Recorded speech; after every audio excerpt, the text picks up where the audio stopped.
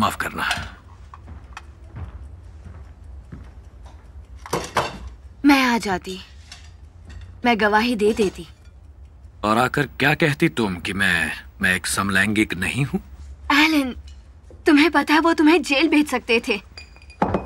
नहीं।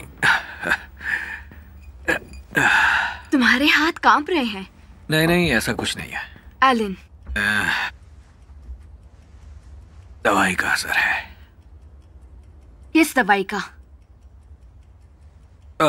जज ने मुझे चुनने को कहा था। या तो दो साल जेल में या hormonal therapy. Oh my God सच में? हाँ हाँ हाँ सच कह रहा हूँ। केमिकल कैस्ट्रेशन मेरे दिमाग में वैसे ख्याल जो थे उसे निकालने के लिए। इसीलिए मैंने ये चुना क्योंकि मैं जेल में काम नहीं कर सकता था। ठीक है। मैं तुम्हारे डॉक्टर से बात करूँगी। मैं तुम्हारे लॉयर से बात मैं, करूँगी। मैं, मैं ठीक हूँ मैं प्लीज़ मुझे करने नहीं दो। नहीं मुझे तुम्हारी मदद की ज़रूरत नहीं है थैंक यू एलन तुम ये सब अकेले क्यों कर रहे हो? मैं अकेला नहीं हूँ। ना ही कभी था।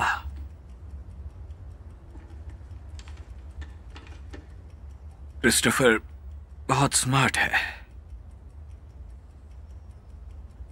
अगर अगर मैं अपना इलाज जारी नहीं रखता हूँ तो वो लोग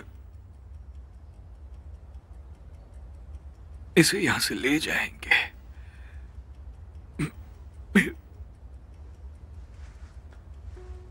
तुम उन्हें ऐसा नहीं करने दे सकते, ऐसा नहीं। मुझे अकेला नहीं होने दे सकते वो। मैं मैं अकेला नहीं रह सकता, अकेला नहीं रह सकता मैं। ठीक है ठीक है। ठीक है। आओ आकर बैठ जाओ। सब ठीक है। बैठो। सब ठीक है।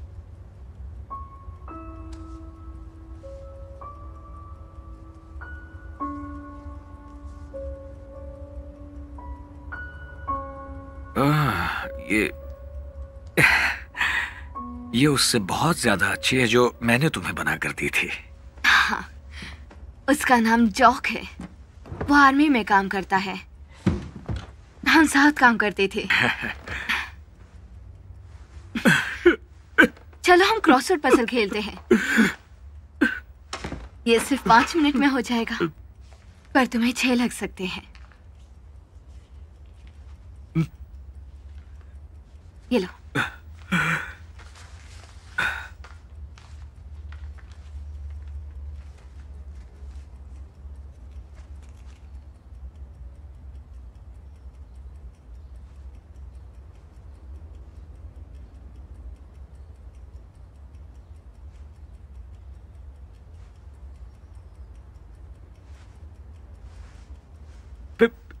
फिर कभी।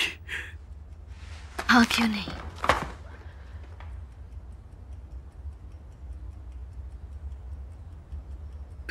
तुम्हें जो चाहिए तुम्हें मिल गया है ना।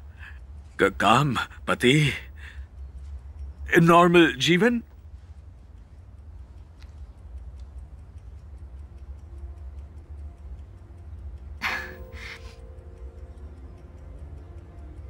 नॉर्मल इंसान ये नहीं बना सकता था। तुम जानते हो? आज सुबह जब मेरी ट्रेन एक शहर से गुजरे वो मौजूद ना होता, अगर तुम ना होते। मैंने एक आदमी से टिकट खरीदा, जो शायद मर गया होता, अगर तुम ना होते। मैंने मेरे काम के बारे में पढ़ा। वो पूरी की पूरी साइंटिफिक इंक्वायरी जो सिर्फ़ तुम्हारी वजह से मुमकिन हुई। अब तुम चाहते हो कि तुम नॉर्मल हो जाओ। लेकिन मैं ऐसा नहीं चाहती। ये दुनिया एक बेहतर जगह है क्योंकि तुम नॉर्मल नहीं थे।